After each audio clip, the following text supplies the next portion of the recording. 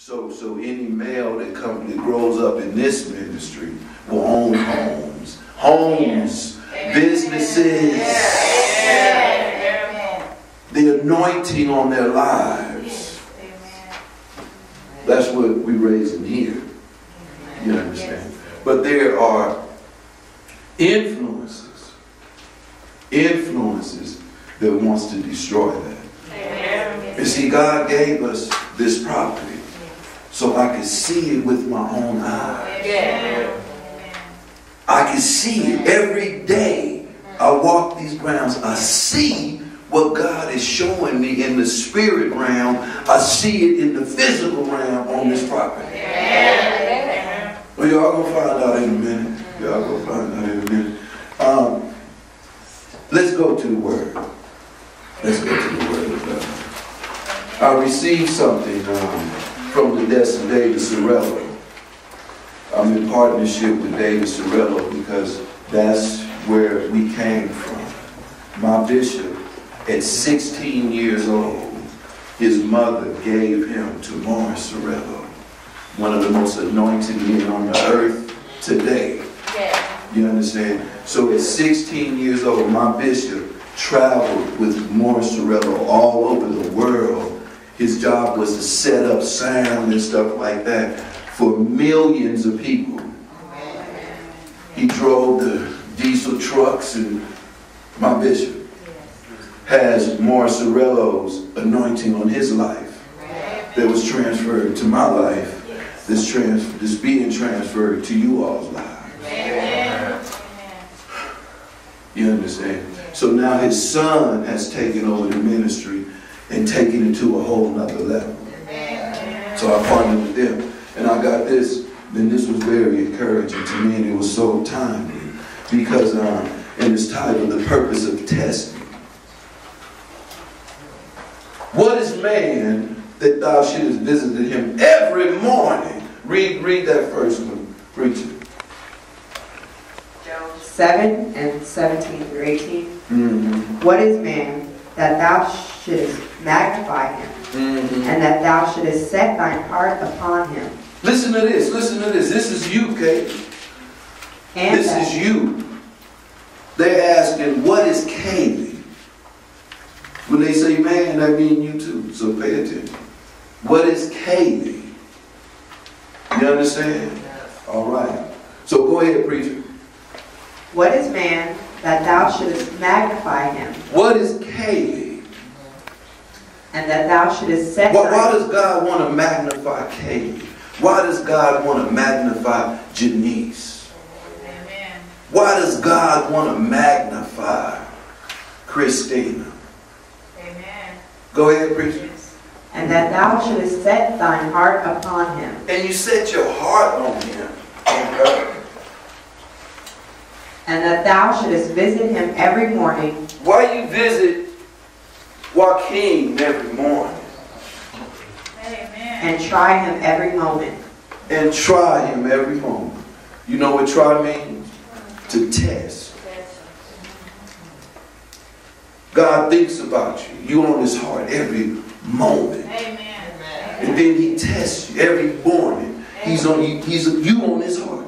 And then he tests you every See some of y'all going through testing right now and you don't even understand why. See, you're going through testing right now. See, but this is what you must understand when you're going through testing. You see, let me give you the definition. Hold on of the word testing. To test. To test is to take measure and check the quality of a thing. The performance or the reliability of something. Especially before putting it into widespread use or practice. See, before you go into widespread use all over the world, use where God can use you widespread all over the world, you have to be tested for reliability, for responsibility, all those things, you have to be tested. Amen. Yes. Jewelers don't test tin. They test gold. They don't test copper. They don't test brass. They test gold. And then they stamp it with a seal 10 carat, 14 carat, 18 carat, 24 carat. Diamonds are tested for quality.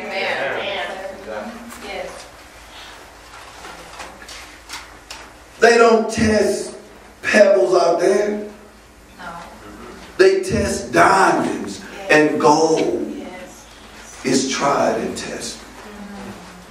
So those of you that's going through a test right now, going through tribulations, I don't understand this, it's because God is getting ready to use you for widespread use. But you got to be tested first. You got to be tried first. So we don't make him look bad. We have to be tested and tried. Check the quality for performance, reliability, and quality. That's why you're being tested. Amen. You understand? Look at Job 1 and 8. We're in the book of Job because God allowed him to be tested. You see, before the test came, God was already bragging on him. Before his testing came, God was already bragging on Job. Reread that, Job 1 and 8. And the Lord said unto Satan, To Satan, Hast thou considered my servant Job, that there is none like him in the earth? None like him. God is saying, Have you considered Alexis? There's none like her on the earth. There's none like her. I made her just for me. Amen. Yes. Amen. Everything she is, everything that's, that makes her up, I made her for me. Amen. Have you considered? You understand? Go ahead, preacher. A perfect and an upright man, one that feareth God and escheweth evil. Escheweth evil. Stays away from evil. Now he said perfect. Perfect don't mean it perfect in the sense that we think Jesus was the only perfect man. Perfect means mature. He's been through some testing. Blameless. You understand? Yes. Mature. That's what perfect means. For us. But we strive towards perfection. It's a constant, daily grind, striving towards perfection. That's our job. Did you finish that preaching? Have you considered God is bragging on you the reason you're going through testing right now? Because God is bragging on you. But remember, I told you that there are some elements that don't want to see you get that stamp Yes. of approval. Amen. They don't want to see you get that stamp, 10 carat, 14, try. Yes. Yes. You understand that? Yes. Yes. Read Job 23 and 10. It finally dawned on him after he went through all kind of hell. I mean, this man, y'all know the story of Job. He lost everything. He was one of the richest men on the planet. He had children. All his children had homes and businesses. He had servants and camels and, and, and all just assets. Yes. Yes. Satan took them all. He went through some show enough testing. Yes. See, your test comes for this reason. God allows it because he knows the outcome. He has confidence. If God is, if you're going through a test, God has confidence in you that you're going to pass the test. Amen. Amen. Yes. He has confidence in you. So he allows Satan to test you. Satan said, the only reason Job serves you is because you blessed him. That's the only reason. Take that hedge that you have around him. See, God got a hedge about you. Yeah. Take that hedge down and let me have him, and I bet he will curse you to your face. That's what Satan told God about Job. That's what Satan told God about you. If you're going through a test, Amen. if you're going through some testing Yes. right now. Yes. So it finally dawned on Job after he went through these tests. In the 23rd chapter, what did it say, preacher? But he knoweth the way that I take. When he hath tried me, I shall come forth as gold. When I'm tried, he finally figured it out. I'm going through this testing because I'm coming forth like pure gold. Amen. Gold got to be burnt up. It's got to go through some fire. Yes. It's hard, but you got to take it out them rocks. Yes. You got to take it out the earth. Yes. You got to Yes. boil it. You got to Yes. bring it to temperatures where it's Yes. boiling Yes. so you can get all the impurities out. Yes. So you can get all the, and, and, and the amount of impurities that come out, that's Yes. the carats that stamped on it. Yes. Whether it's 10, Oh, whether it's 14, Yes. whether it's 18, Yes. whether it's 24. You end up, fire right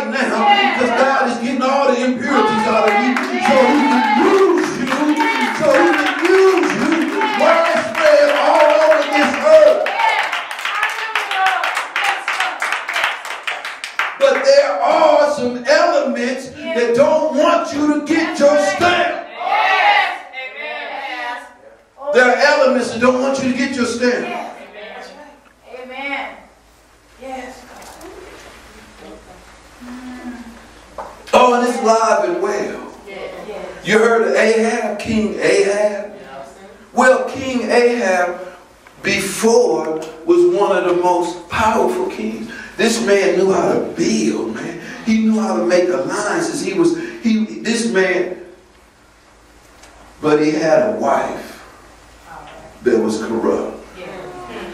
That's why the Bible says don't be unequally yoked.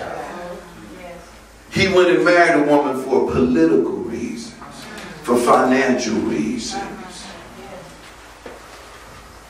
And she took one of the greatest strategizers on building. That's what he was known for. On commerce. One of the greatest men God put on this planet for building and commerce and making alliances. She took this man and made him the worst king in Israel's history. This woman by the name of Jezebel. Yes.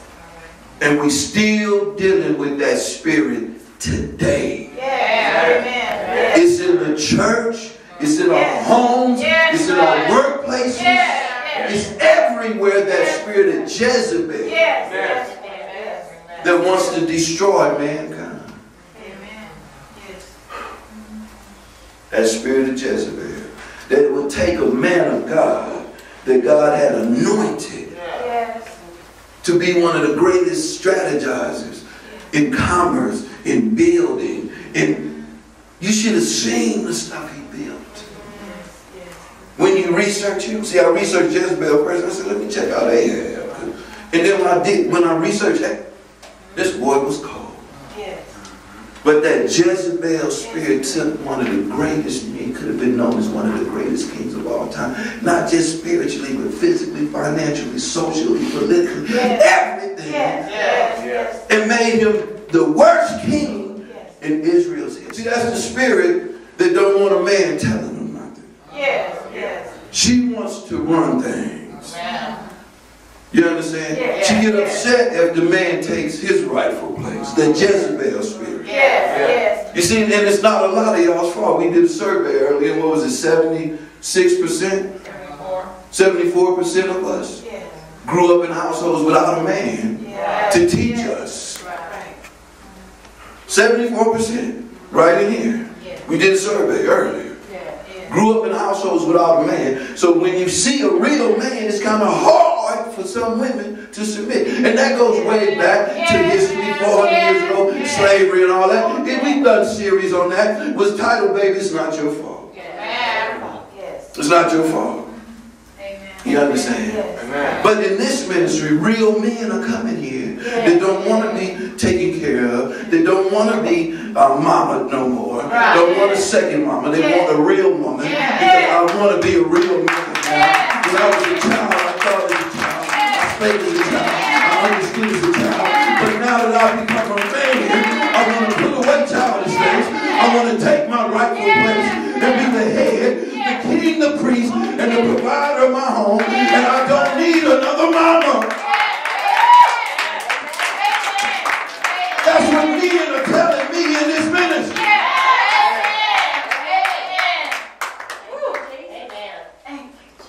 Hallelujah. Yes. So a lot of us would know, recognize a real man because we ain't really seen one. Ain't never seen one. 70, what, 4%?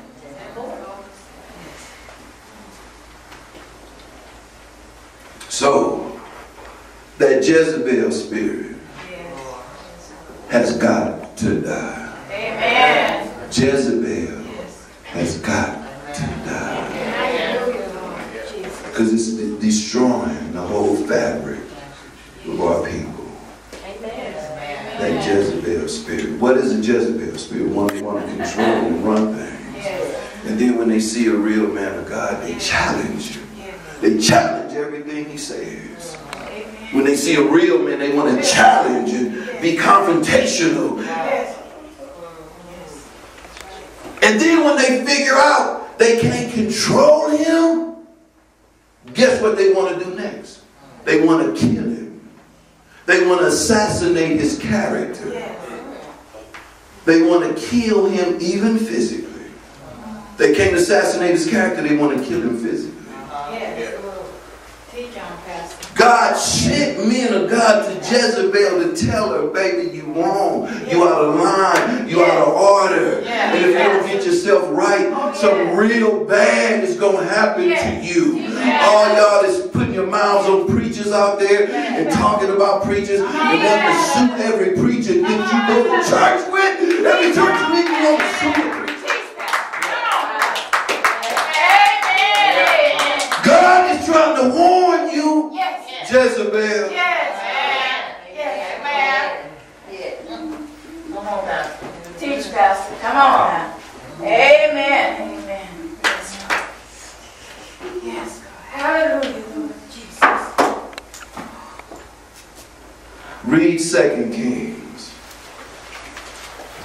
And when Jehu was come to Jezreel, Jezebel heard of it. Jehu was a real man of God.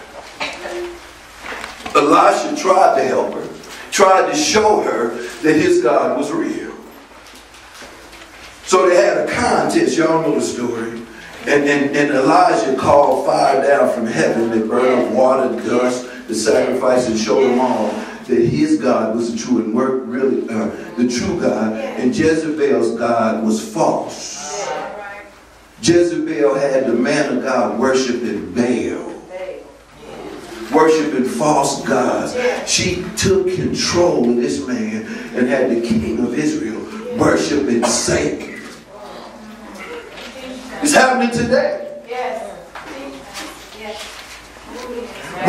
The king of Israel, worshiping Satan. That Jezebel spirit that had you doing all kind of stupid stuff. Yes. Yes. Amen. So she didn't listen to Elijah. So here God sends another preacher to her, another man of God to her. She sees him coming, and this is what she does. Go ahead, preacher. 2 Kings 9 and 30. And when Jehu was come to Jezreel, Jezebel heard of it, and she painted her face, and tied her head, and looked out a window. And as Jehu entered in at the gate, she said, Had Zimri peace, who slew his master? Now here she see the man of God coming. All right. She knows she can't control it. Right. You understand? So now she gonna accuse and try to assassinate his character. Look, look at you coming up here. Ain't you the one that killed your master? Yeah, he was supposed to die. He was wicked. Yes. That's what they did back then. Yes. Amen. Yes. Go ahead, preacher. And he lifted up his face to the window and said, Who is on my side? Who? And there looked out to him two or three eunuchs. Eunuchs, yeah.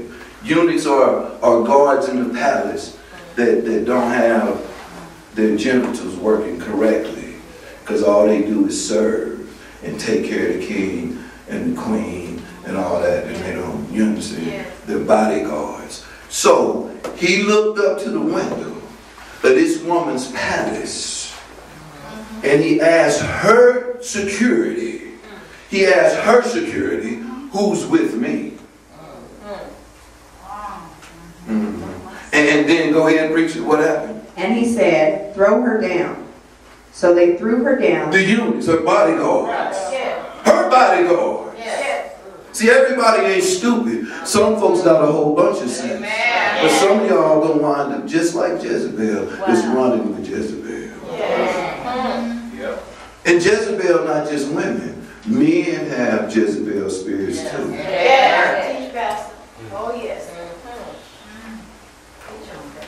Yes. So her security guards Yes. grabbed her. Mm-hmm.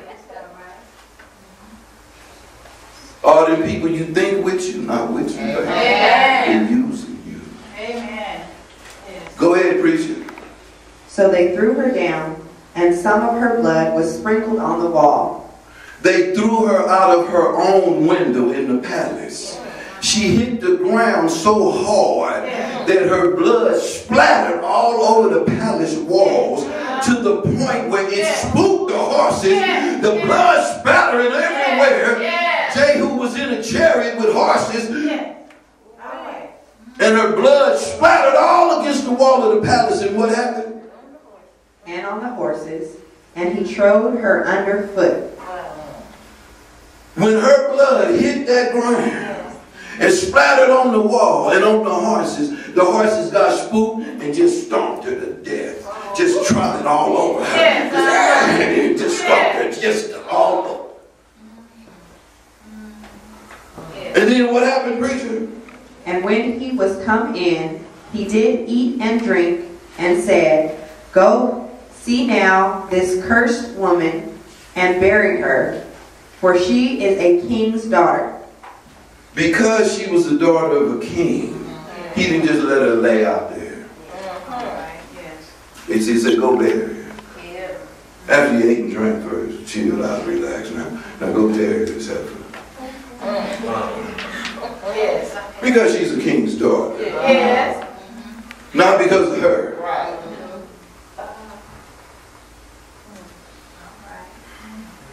And then what happened? And they went to bury her, but they found no more of her than the skull, and the feet, and the palms of her hands. Was that it? Go ahead. Wherefore they came again and told him, and he said, This is the word of the Lord, which he spake by his servant Elijah the Tishbite, Mm-hmm. saying, In the portion of Jezreel shall dogs eat the flesh of Jezebel, mm. and the carcass of Jezebel shall be as dung upon the face of the field in the portion of Jezreel, so that they shall not say, This is Jezebel. God is trying to help somebody. Amen. In 1 Kings 21 and 19, Elijah tried to warn this woman. She wouldn't take heed, he wanted to kill him. 1 Kings 21 and 19 is when he pronounced her doom. That Jezebel spirit gonna die up in here. Amen. It's gonna die up in here. Amen. We're gonna have deliverance service today. And that Jezebel spirit is going to die in here. Amen. Amen. And before we do that, we're going to take a little field trip. Remember I told you God loves us so much, he don't just give us the word. He shows us the word. Amen. Amen. He shows us the word. Y'all gonna see a symbol of Jezebel in a moment. Y'all gonna to see it with your own eyes, a symbol of Jezebel. I walk these grounds every morning praising God, worshiping God for hours. Because I see his handiworks everywhere. Romans 1 and 20 said, Man is without excuse. You can see God all in nature. His nature speaks to me every day. I see his nature. I'm out there watering and watching stuff just blossoming. Yes. God's beauty and his magnificence. Yes. I see it every day. And then he allows me to see in the spirit realm all these little ground squirrels that eat up this stuff from the bottom. It's symbolic of what Satan is doing in the spirit realm in the church. Yes. And then you got the ones that come in and they eat it up from the top. Those are the ones that come in your ministry Yes. Amen. and eat away at your people Yes. from the Yes. top. Amen. Yes, Yes. I see this every day. Amen. And then you have those men and women of God that stand guard and put a perimeter around. So Satan can't come through the bottom. So he can't send people on Amen. top. Yes. Yes, Lord. And he sends them around. Yes. Night before last, I was outside just walking around at night looking at the stars and God's handiwork and looked across the street, just put my hand on the fence and just gazing and I saw the cats came back. We had a pit bull running loose out here we had to get rid of because he chased all the cats away. Night before last, I said, wow, the cats are back. Because they're cold, these cats cold. Yeah. We see them walking through here with rats in their mouths, ground squirrels, everything. I love them. I was gonna get some Rottweilers, but I think I might just get some cats.